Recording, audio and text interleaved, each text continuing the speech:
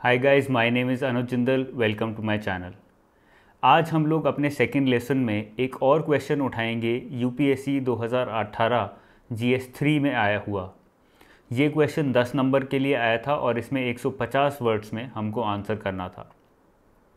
Last session uh, में हमने दो पर्टिकुलर चीज़ें सीखी थी जो मैं आज रिवाइज़ करवाऊँगा और उसके साथ ही दो और नई चीज़ें बताऊँगा जो आपको ध्यान में रखनी है before you start practising your answers तो हमारे पास चार चीज़ें हो जाएँगी। इसी तरह से हम कुछ और चीज़ें ऐड करेंगे।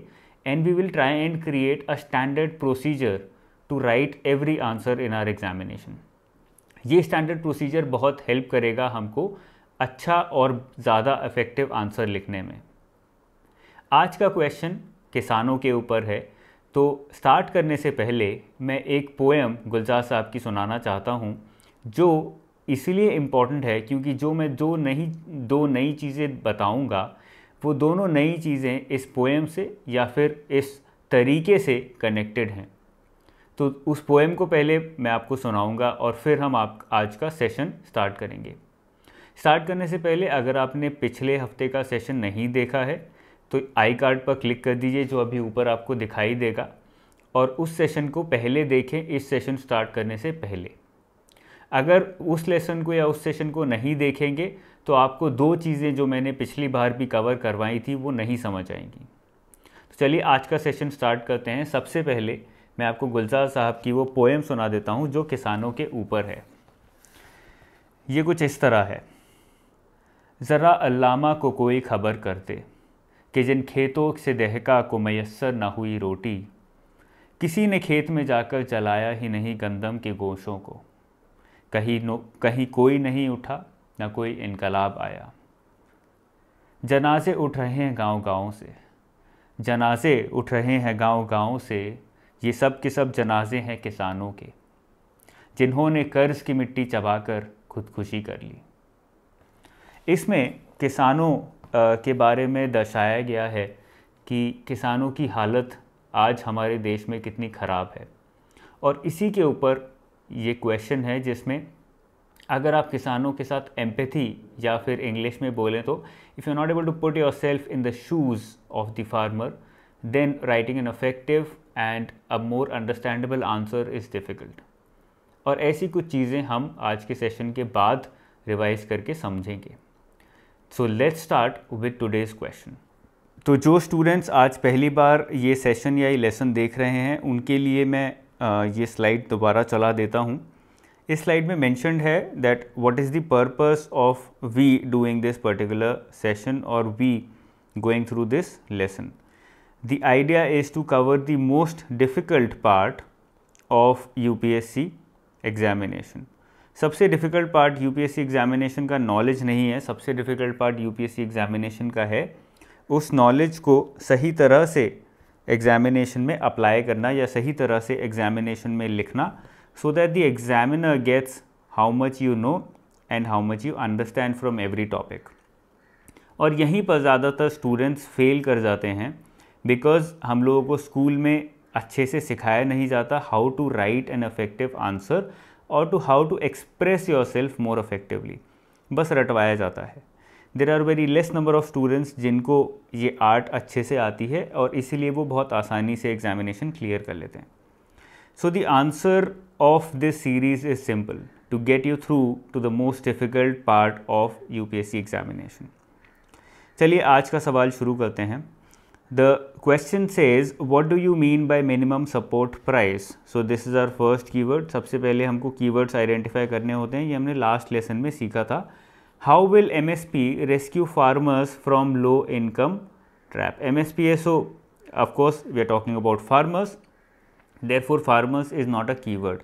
The keywords are minimum support price and low income trap. ये दो हमारे keywords हैं ये थर्ड क्वेश्चन था 2018 CSE GS 3 में question number three question number two was connected directly with long term capital gain tax and budget announcements which was very factual question इसीलिए मैंने उस क्वेश्चन को नहीं उठाया है।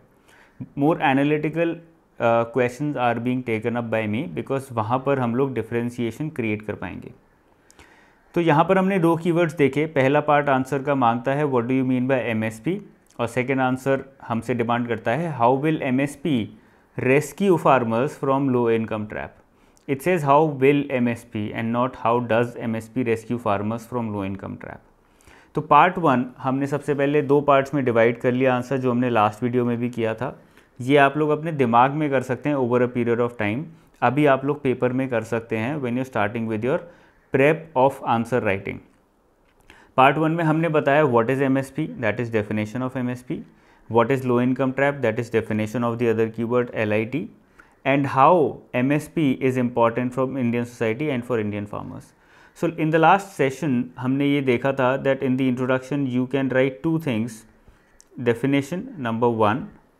And number two, the importance of the linkage that has been created. Linkage क्या है यहाँ पे?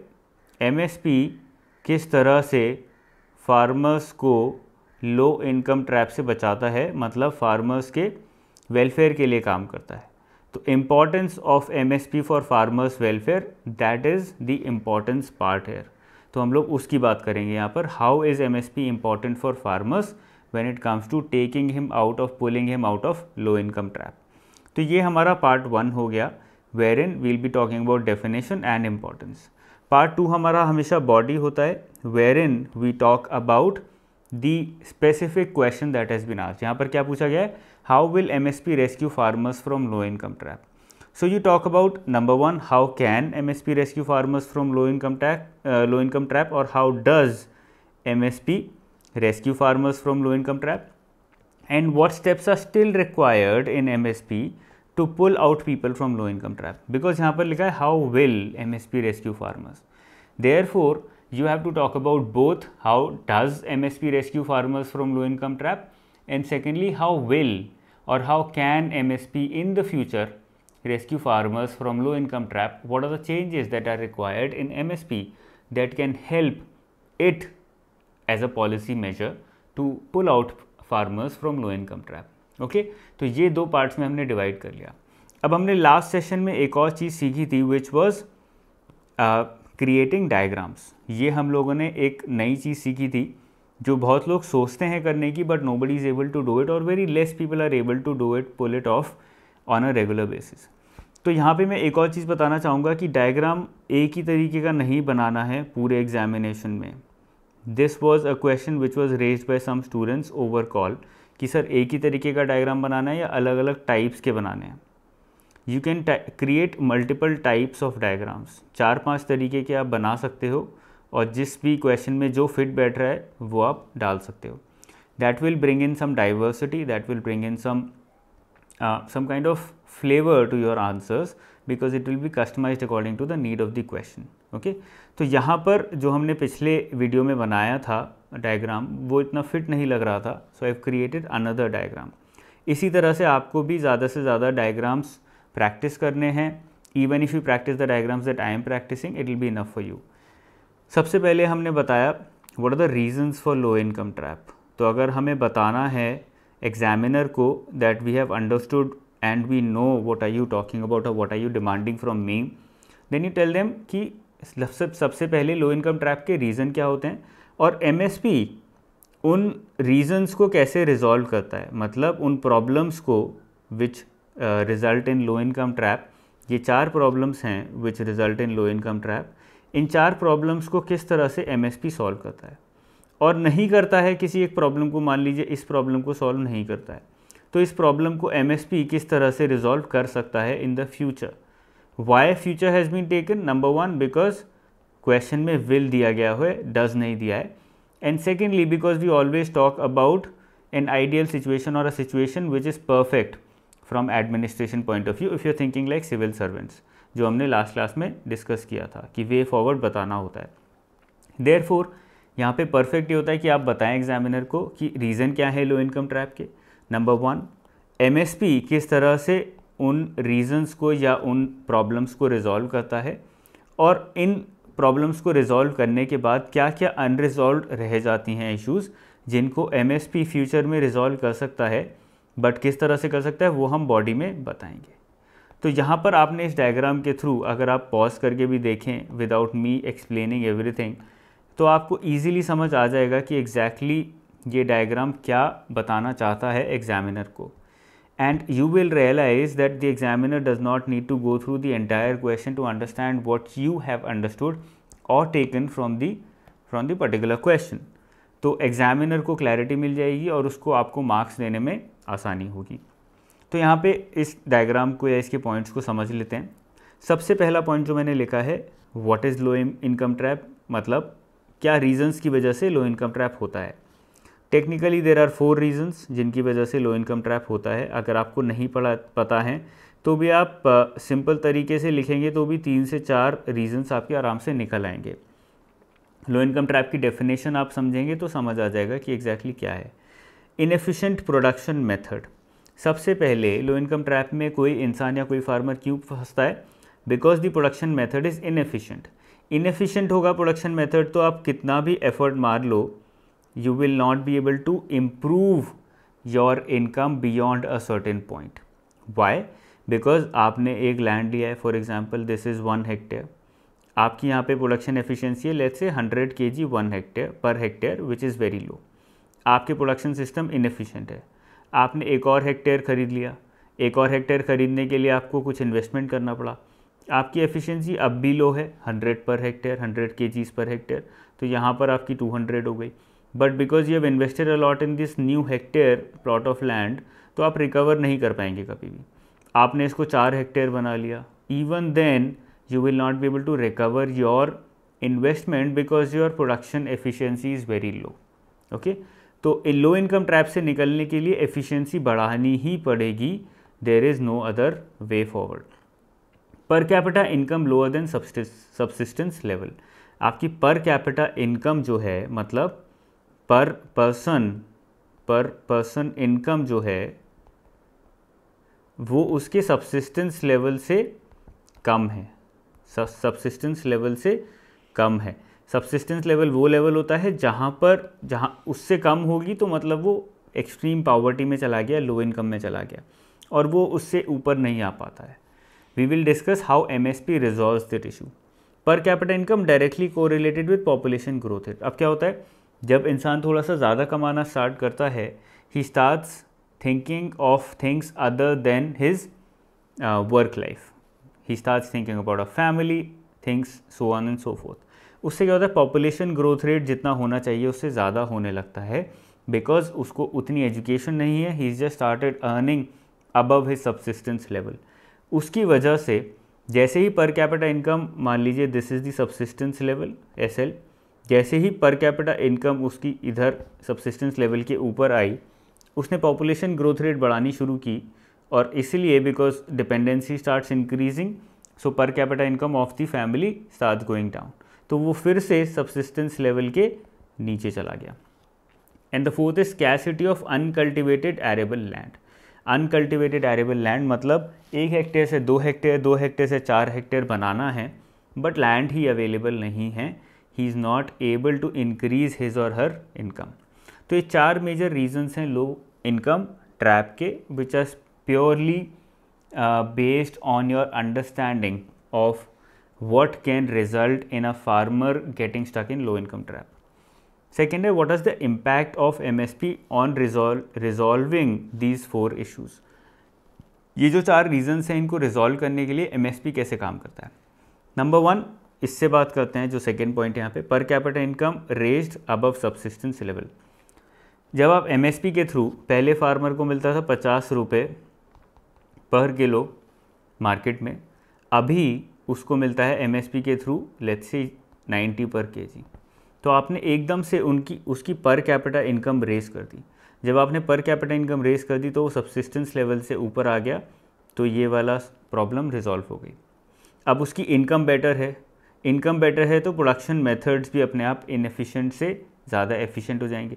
जब उसके पास चार हेक्टेयर लैंड होगा तो उसकी पर कैपिटा इनकम भी ज़्यादा है तो उसके चार हेक्टेयर लैंड को वो मशीनरी से यूज़ करने लगेगा। Rather than using his own hands he will start using a tractor probably और he start hiring people for farming तो उससे हायर इनकम से री इन्वेस्टमेंट के थ्रू प्रोडक्शन मेथड्स भी इंप्रूव हो जाएँगे। Second problem is also resolve third problem is not resolve and the fourth problem is not resolve why higher income यहाँ पे what I wanted to save this higher income is not equal to control over population growth rate income ज़्यादा होने के बाद भी production methods better होने के बाद भी it can not be said और there is no direct correlation between higher income and control over population growth rate तो ये प्रॉब्लम हमारी रिजॉल्व नहीं हुई.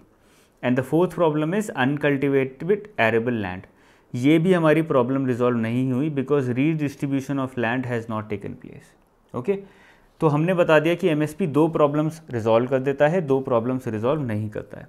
So unresolve issues are directly flowing from this population growth rate pushes people back into low income trap and redistribution of land not covered under M तो ये दो चीज़ें हमने बताया और हम इनको कंक्लूजन में वापस मेंशन करेंगे। So we are creating a close loop जो लूप मैंने लास्ट क्लास में बताया था। तो इन दो पॉइंट्स के थ्रू हमने बता दिया कि कुछ चीज़ें हैं जो MSP करता है और कुछ चीज़ें हैं जो MSP नहीं करता है। Now let's start after having discussed the diagram which summarizes actually the entire question and therefore it makes it easier for the examiner to understand what you want to say you start with the question तो हम लोग दो तरीके से question के को answer कर सकते हैं फ़र्स्ट मेथड इज़ इंट्रो लिखें फिर डायग्राम डालें और उसके बाद body and then conclusion and the second method is diagram पहले डालें फिर इंट्रो लिखें फिर body and finally comes your conclusion okay so these two methods can be followed तो यहाँ पर हम लोग सेक uh, मैंने लिखा है ये सेकेंड मेथड या इसको फ़र्स्ट ले लेते हैं इसको सेकेंड ले लेते हैं।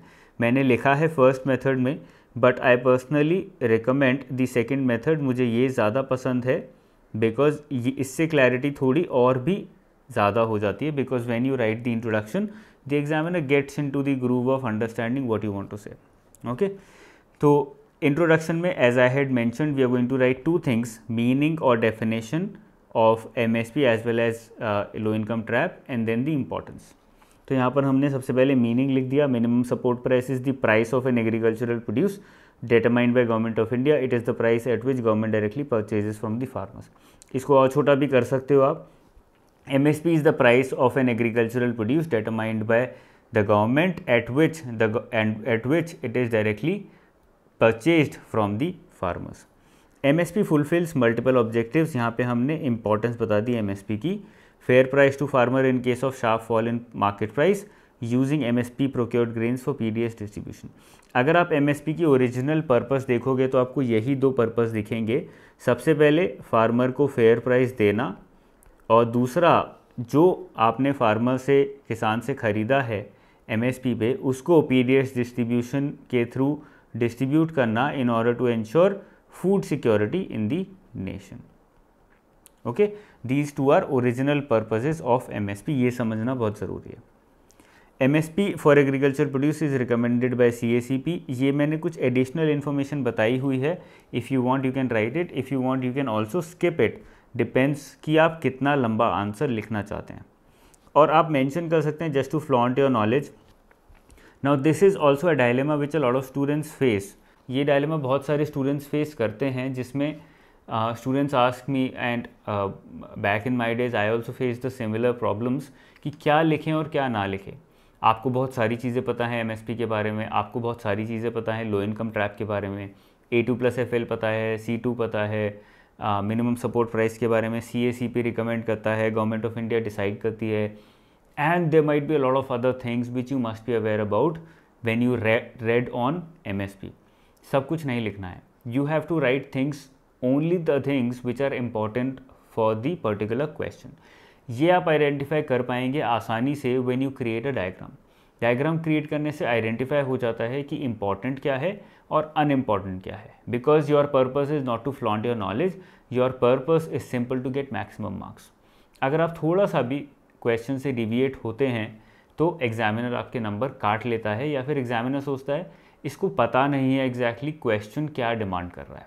And that's why he is writing whatever he knows you don't have to write whatever you know you have to write what the examiner needs from you or demands from you. Okay? तो यहाँ पर A two plus F L और C two के बारे में थोड़ा सा mention कर सकते हैं। यहाँ पर मैंने थोड़ा डिटेल में बताया है, आपको एक्सप्लेन भी कर देता हूँ कि exactly A two plus F L और सी टू क्या है। C two was the method of identifying the M S P which was given by M S doctor M S Swaminathan and A2 plus FL is the method which has been adopted by finance ministry. तो ये वाला method use होता है। M S P identify करने में and C two is the method which is given by doctor M S Swaminathan as is recommendation A two का मतलब होता है all paid out cost directly incurred by the farmer जो भी farmer ने, जो भी किसान ने कॉस्ट इनकर की हैं सीड्स पे फर्टिलाइज़र पे पेस्टिसाइड पे लीज़ किया है लैंड तो उसके ऊपर फ्यूल पे इरीगेशन पे, वो सारा हो गया उसका A two and F L is imputed value of unpaid family labour F L is family labour तो जो फैमिली लेबर है, अनपेड मानी जाती है। मान लीजिए चार लोग काम कर रहे हैं एक पर्टिकुलर फार्म पे, चारों फैमिली मेंबर्स हैं तो चारों की जो इम्प्यूटेड वैल्यू होगी उनकी लेबर की, वो ऐड कर दी जाएगी। सी टू थोड़ा ज़्यादा कॉम्प्रिहेंसिव है बिकॉज़ इसमें rentals interest forgone on owned land fixed capital and fixed capital assets ये चीज़ें भी ली जाती हैं। जो भी आपने रेंट किया है या रेंट पे दिया है इंटरेस्ट जो आपने फॉरगॉन किया, अगर आपका लैंड अपना है, क्योंकि यहाँ पे खाली लीज इन लैंड है ओन लैंड नहीं है। और भी फिक्स्ड कैपिटल एसेट्स जो भी आपके पास हैं, अगर वो आप रेंट पे दे देते तो आपको कुछ ना कुछ फ़ायदा होता। तो वो कॉस्ट भी यहाँ पर इंक्लूड की जाती हैं more comprehensive in nature but presently A two plus F L is followed ना all these things you must have got an idea कि ये सारी चीज़ें हमारे क्वेश्चन के लिए ज़्यादा रिलेवेंट नहीं है। बट मैंने आपको बताया just for knowledge sake and also to help you understand कि क्या लिखना है क्या नहीं लिखना है। ये चीज़ें नहीं लिखनी है मिस आउट कर देंगे तो भी फ़र्क नहीं पड़ेगा। यहाँ पर आप एमएसपी के साथ साथ, यहाँ पर आप एमएसपी के साथ साथ लो इनकम ट्रैप की डेफिनेशन भी लिख सकते हैं। मैंने मेंशन नहीं की है। लो इनकम ट्रैप और एमएसपी दोनों की डेफिनेशन और दोनों की इम्पॉर्टेंस आप बता सकते हैं if you have the space ठीक है? तो हमने इंट्रोडक्शन में ये कवर किया, अब हम आए बॉडी पे। बॉडी पे क्या कर, हम कवर करेंगे? हम पहले बताएँगे कि एमएसपी किस तरह से फार्मर्स को रेस्क्यू करता है लो इनकम ट्रैप में से। एंड सेकेंड पार्ट बॉडी के सेकेंड पार्ट में बताएँगे कि क्या स्टेप्स और चाहिए हमको the steps which are required which can help MSP rescue farmers from low income trap ठीक है? तो हमने यहाँ पर बताया कि रेस्क्यू एमएसपी किस तरह से करता है। Number one minimum guaranteed price to farmers farmers को एक मिनिमम गारंटीड प्राइस प्रोवाइड करता है MSP which acts as a safeguard against price fluctuations so these are all keywords which you need to write against price fluctuations and market imperfections the farmer is thus protected from getting into low income trap अब ये एक बहुत important चीज़ है जो बहुत धीरे धीरे लोगों को समझ में आती है। हर एक पॉइंट के बाद, हर एक पॉइंट के बाद आपको वापस क्वेश्चन पे जाना है और बताना है कि आपका ये जो पॉइंट है how is it answering actually answering the question that was raised in the question itself question में क्या पूछा था? How will M S P get farmers out of low income trap तो आपने बताया M S P X Y Z करता है। M S P number one आपने बताया कि मिनिमम गारंटीड प्राइस बताता है, देता है फार्मर्स को। जिससे कि फार्मर को कुछ सेफ़ गार्ड मिलती है against price fluctuations blah blah blah और उससे वो लो इनकम ट्रैप से बाहर आता है। तो अगर हम इसको डायग्रामेटिक फॉर्मेट में बनाएँ तो बहुत आसानी से बनेगा और बहुत ईजी और बहुत अच्छा होगा। सबसे पहले क्वेश्चन में पूछा एम का relation with low income trap किस तरह से फार्मर को लो इनकम ट्रैप से एमएसपी बाहर निकालेगा? आपने बताया एमएसपी में कुछ चीज़ें होती हैं, कुछ देर आर सडन फीचर्स सबसे पहले minimum guaranteed price to farmer और ये मिनिमम गारंटीड प्राइस प्राइस आपने लिंक किया कि लो इनकम ट्रैप को रिजॉल्व करता है। ऐसे ही आपने दूसरा बताया it incentivizes farmers to produce more produce more PM और आपने बोला, इसकी वजह से वो लो इनकम ट्रैप से बाहर निकलेगा। तो आप जो भी पॉइंट बताएँगे, उस पॉइंट को एग्जामिनर जो नीड चाहता है एग्जामिनर चाहता है कि ये लिंक क्रिएट हो। अगर हम इसको इस तरह से देखें तो एग्जामिनर चाहता है कि link of one and two should be created और आप बताएँगे कि ये थ्री है अगर तो थ्री टू से किस तरह से कनेक्टेड है? फोर किस से किस तरह से टू टू से कनेक्टेड है? बिकॉज़ एग्जामिनर को चाहिए वन और टू के बीच में कनेक्शन सिंपल तो हमने बताया सबसे पहले कि price acts as a minimum guaranteed price to the farmers second हमने बताया इस it incentivizes farmers to produce more as they are guaranteed and assured market for they produce farmer को पता है कि मैं इतना बनाऊँगा तो बिक जाएगा, सरकार तो खरीद लेगी एमएसपी के through therefore he is incentivize to produce more and more ज़्यादा बनाएगा तो इनकम ज़्यादा होगी इनकम ज़्यादा होगी तो उसकी लो इनकम ट्रैप से वो बाहर निकलेगा. थर्ड है M S P is regularly index to inflation and cost of farmers produce जब वो रेगुलरली फार्मर जो भी किसान की कॉस्ट है, उससे इंडेक्स्ड है तो क्या होगा? एम एस पी रेलिवेंट रहेगा। ऐसा नहीं कि आज मार्केट में गेहूँ का प्राइस तो है सौ रुपये पर kilo but M S P कितना मिल रहा है उसको दस रुपये पर किलो। बिकॉज़ यहाँ पे indexation to inflation indexation to cost of farmers produce वो सब नहीं हुआ है। Okay okay? तो ये इंश्योर करता है कि जो भी एम एस पी मिल रहा है, वो एक्चुअल में it stays relevant for the farmer and farmer feels की एम उसको जो मिल रहा है वो सही मिल रहा है, गलत नहीं मिल रहा है।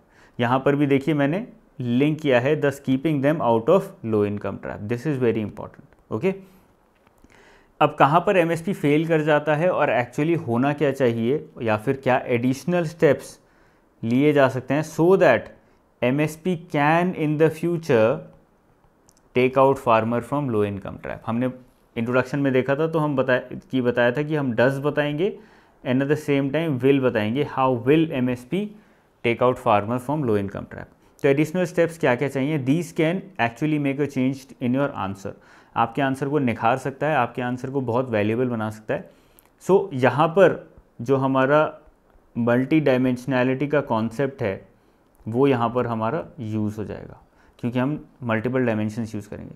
सबसे पहले हमने यहाँ पे जोग्राफिकल उठाया डाइवर्सिफिकेशन उठाया इंश्योरेंस उठाया फाइनेंशियल फाइनेंशियल इंक्लूजन उठाया विच इज़ ऑल्सो फाइनेंशियल तो हमने दो मेजर डायमेंशंस उठा ली यहाँ पर। तो अगर हम सिलेबस देखें हिस्टोरिकल कुछ नहीं मिला हमको, ठीक है? जोग्राफिकल हमने ले लिया। सोशल कुछ ज़्यादा एमएसपी प्रोवाइड नहीं करता है सोशल एंड कल्चरल उसके बाद हमने फाइनेंशियल मतलब इकोनॉमिक ले लिया। पॉलिटिकल या फिर पॉलिटी कॉन्स्टिट्यूशन से कनेक्टेड कुछ बताने की ज़रूरत नहीं है not very important because future में जा रहे हैं हम लोग। उसके बाद हम लोगों ने इकोनॉमिक ले लिया। एथिकल वगैरह इसमें नहीं डिस्कस करेंगे। तो हमने एडिशनल स्टेप्स के थ्रू कुछ नई डायमेंशंस खोल दी यहाँ पर। Number one is M S P in allied crops अब M S P allied crops में अगर देने लगें तो उससे क्या होगा? डाइवर्सिफिकेशन होगा। उससे क्या होगा? इनकम बढ़ेगी फार्मर की और उससे income trap low income trap नहीं होगा। तो ये हमने एक चेन क्रिएट करी कि एलाइड क्रॉप्स में अगर एमएसपी अलाउड हो जाए तो डाइवर्सिफिकेशन होगा which is also beneficial for the country as a whole sustainability के लिए अच्छा है। फार्मर की इनकम भी बढ़ेगी और उससे इनकम ट्रैप भी नहीं होगा। फार्मर की इनकम क्यों बढ़ेगी? बिकॉज़ मल्टीपल क्रॉप्स वो अपने एक ही खेत में उगा सकता है अलग अलग टाइम पर उगा सकता है। तो पूरे साल भी काम करेगा और एक ही टाइम पे अगर कोई एक वायरस आता है, कोई एक फंगस आता है, कुछ भी अनप्रडिक्टेबिलिटी आता है फ़ार्मिंग में all the crops are not destroyed okay उसकी इनकम कुछ ना कुछ वनरेबिलिटी कम होती है। Second point is that M S P needs to be according to local geographical and socio economic condition M S P अभी locally नहीं nationally determine होता है। So it's important that M S P is determined locally जिससे कि वो socio economic conditions को भी ध्यान में रख सके।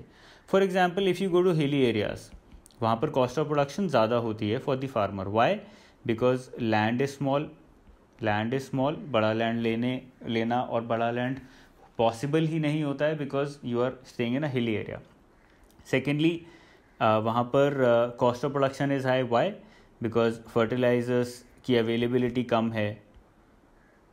Similarly cost of transport is high cost of transport is high तो ये सारी चीज़ों की वजह से the cost of production is high so local socio economic conditions need to be taken care of जिससे कि ज़्यादा सस्टेनेबल और रेगुलर इनकम फार्मर्स को मिलती रहे।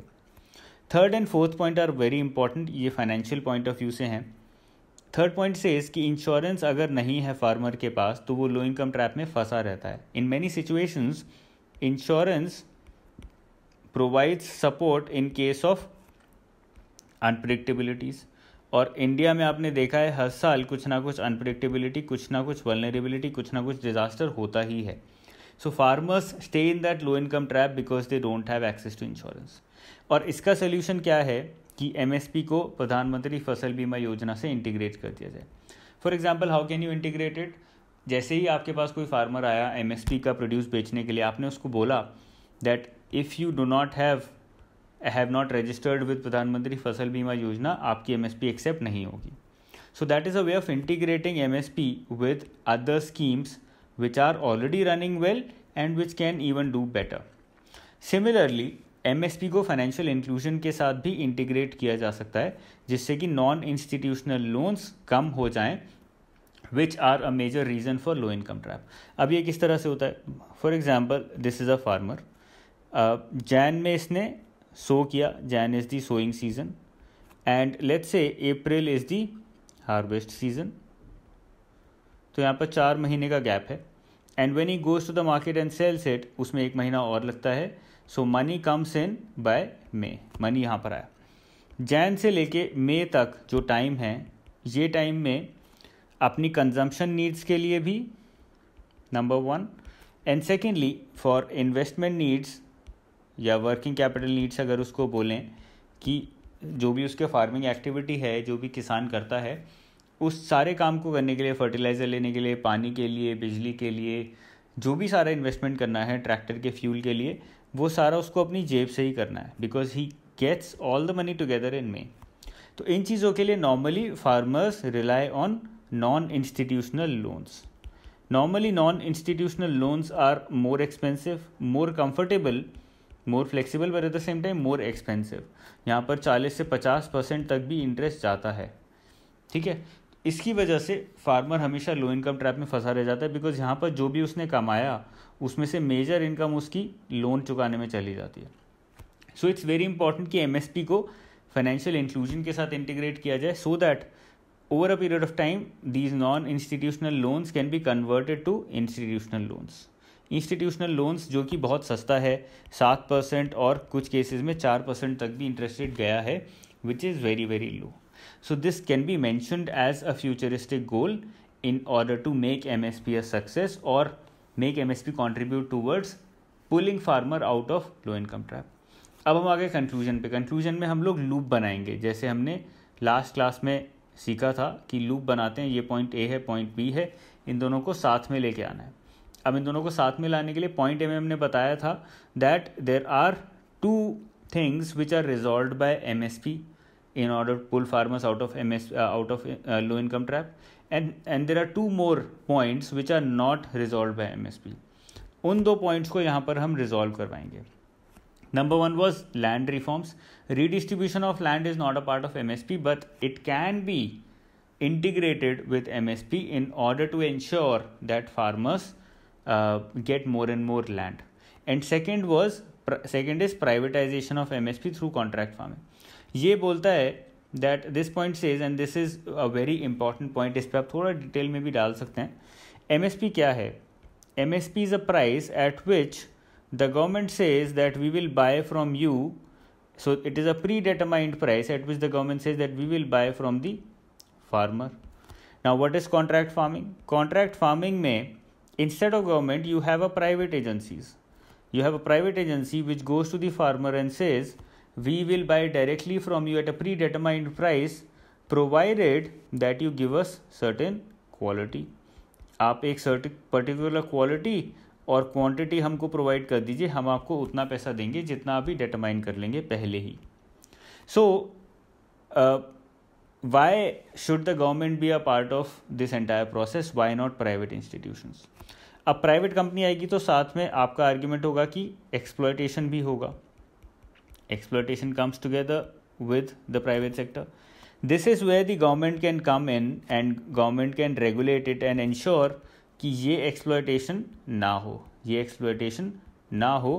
Private sector works for the benefit of the farmer and at the same time for the benefit of itself which can happen without exploitation तो किसी ना किसी रेगुलेटरी इंस्टीट्यूशन के थ्रू या किसी और प्रोसेस के थ्रू इस एक्सप्लोइटेशन को हटाया जा सकता है।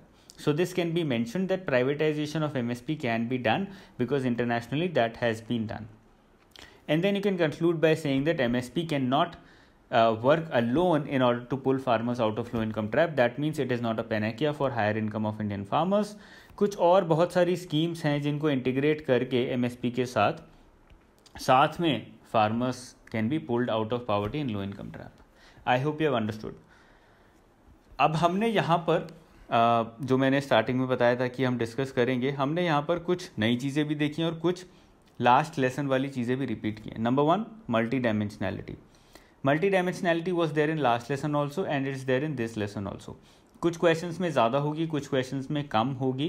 That always varies depending upon the question but you have to keep it in mind that you check और you check the checklist of multi dimensionality M D अगर आपने चेकलिस्ट एक बनाई है तो उसको अनचेक करना ज़रूरी है।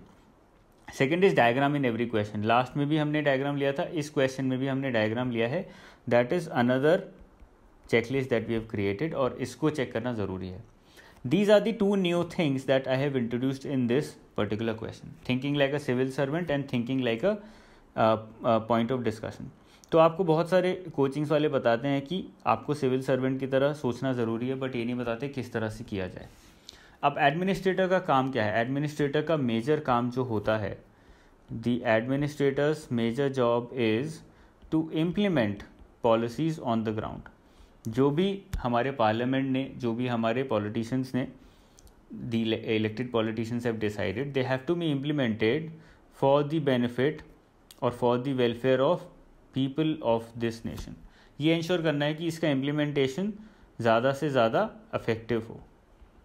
Okay so when you are an administrator you are always thinking about effective implementation of some of the other policy जिस तरह से एम एस पी आता है तो एम एस पी आप किस तरह से ज़्यादा से ज़्यादा अफेक्टिवली इम्प्लीमेंट कर सकते हैं? टेक्नोलॉजी आ गई। आप टेक्नोलॉजी यूज़ कर सकते हैं फाइनेंशियल इंक्लूजन मतलब फाइनेंसिस को इम्प्रूव कर सकते हैं।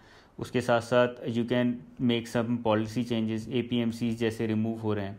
So there are lot of things that can be done by the administrator also administrator की तरफ़ जब आप सोच रहे हैं तो आप हमेशा सोच रहे हैं कि इम्प्लीमेंट किस तरह से अगर मैं होता तो इस पॉलिसी को इम्प्लीमेंट किस तरह से करता। And the next point is कि आपको जो भी पॉइंट ऑफ़ डिस्कशन है, उसके सेंट्रल थीम के बारे में भी सोचना है, जो भी यहाँ के फार्मर है। अब अगर हम एडमिनिस्ट्रेटर का डायग्राम फिर से देखें एडमिनिस्ट्रेटर ने क्या करना था? इम्प्लीमेंट करना था पॉलिसी को। इम्प्लीमेंट करना था with the purpose that the farmer is benefited यहाँ पर पॉलिसी क्या है? एमएसपी एमएसपी को इम्प्लीमेंट करता है विद द फाइनल पर्पस कि फार्मर को ज़्यादा से ज़्यादा फ़ायदा हो, ज़्यादा से ज़्यादा आसानी हो अपनी ज़िंदगी जीने में। तो एडमिनिस्ट्रेटर भी हमेशा फार्मर के बारे में सबसे पहले सोच रहा है लोगों के बारे में सबसे पहले सोच रहा है। तो आपको खाली एडमिनिस्ट्रेटर के तरीके से नहीं सोचना है आपको फार्मर के तरीके से भी, भी सोचना है। फिर क्या होगा? ये रिवर्स हो जाएगा। और आपका जो पर्पस है इम्प्लीमेंट कराने का वो खाली एडमिनिस्ट्रेटर के ज़रिए से नहीं होगा वो at the same time it will also be from the point of view of farmer farmer को क्या क्या प्रॉब्लम्स हो रही हैं तो हमको अपनी इम्प्लीमेंट पॉलिसीज़ में क्या चेंजेस करने चाहिए so that so that he is finally affected positively और impacted positively through those implementations तो ये आपको ध्यान रखना है, ये हमने दो नई चीज़ें आज ऐड कर ली thinking from the point of view of administrator and thinking और पुटिंग योर सेल्फ और being empathic empathetic towards the point of discussion central theme of the question which is farmer in this case तो हमने अभी चार checklist में चार points डाल दिए। पहले हमारे पास दो पॉइंट्स थे हमने दो पॉइंट्स और डाल दिए। हमारे पास चार पॉइंट्स हो गए हैं चेकलिस्ट में।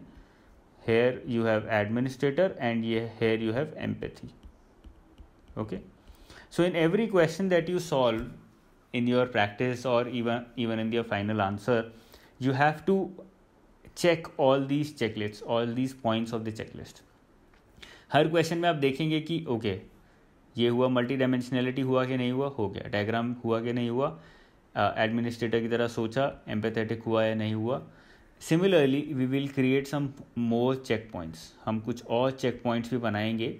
And we'll finally create a standard operating procedure SOP बनाएँगे, जिसके through we will be able to understand कि हमको हर आंसर में एक स्ट्रक्चर एक पर्टिकुलर मेथड और एक पर्टिकुलर स्टैंडर्डाइजेशन किस तरह से क्रिएट करना है? So that the examiner understand how we think and the examiner appreciates it and gives us more and more marks okay so this was all about this particular lesson if you liked it do not forget to subscribe to the channel and also press the bell icon so that every week when I come out with the video you can keep getting notification एक चीज़ आपको नहीं करनी है आज you must have you must have been active on social media platforms like Facebook और Instagram और Quora or any other platform.